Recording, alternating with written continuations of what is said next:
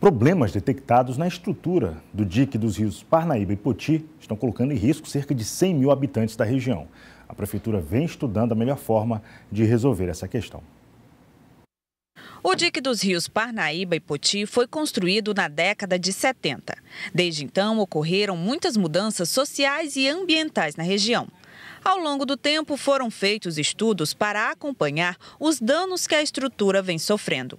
No último levantamento, realizado a pedido do Ministério Público, foram detectados problemas que colocam em risco os 100 mil habitantes que vivem aqui. Os painéis de segurança que foram elaborados recentemente mostraram para a Prefeitura de Teresina, para toda a sociedade teresinense, que o DIC Parnaíba, especialmente, encontra numa situação de grande fragilidade né? e que as pessoas que moram ali no seu entorno ou que são protegidas por ele se encontram numa situação também de grande vulnerabilidade.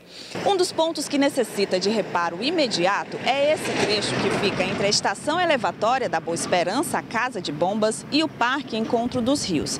Aqui, o fluxo intenso de veículos, aliado à falta de reestruturação ao longo dos anos, provocou um rebaixamento na coroa do dique.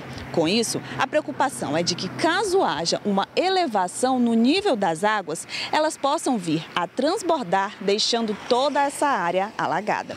Outro ponto de risco fica a poucos metros do encontro dos rios. Aqui, o problema seriam infiltrações na parede do dique. Nesse mesmo trecho, no ano de 2009, foi realizada uma ação emergencial para tentar solucionar o problema, mas não resolveu. E, de acordo com a coordenação do Parque Lagoas do Norte, há risco de rompimento. Deve ter início nos próximos dias um estudo para verificar todos os pontos que precisam de reparos e como essa reestruturação deve ser feita de modo a provocar o menor impacto possível. Seu Luiz Euleiro sempre morou próximo ao dique e já viveu situações desesperadoras.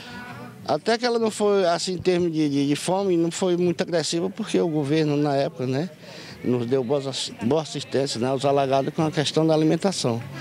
Entendeu? Agora aí as casas foram totalmente destruídas. Né? A prefeitura afirma que pode haver a desapropriação de casas, mas ainda não sabe precisar quantas e quais. Para a Dona Socorro, a melhor solução é aquela que a tira do perigo. Meu desejo é sair dessa casa, ter uma casa melhor, porque minha casa eu nunca pude fazer nada nela, minha filha. Eu não pude rebalcar, botar uma cerâmica, porque sai, não sai. Daquela, não sai. O projeto de estudo para reestruturação deve durar oito meses. Só depois disso será feita a contratação da empresa para dar início à obra. Até o próximo período chuvoso, não haverá conclusão da obra e a população vai permanecer em risco. E há uma determinação do município de Teresina que essa solução ela venha de fato resolver o problema, mas que busque a trazer o menor impacto ambiental possível, assim também como o menor impacto social possível para a região.